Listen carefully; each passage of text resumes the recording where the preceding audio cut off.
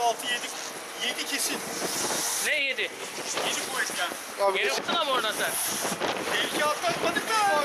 Ama yaptı kalktı. Altına düştük tabii. Biraz oldu değil mi? Kuvvetli mi?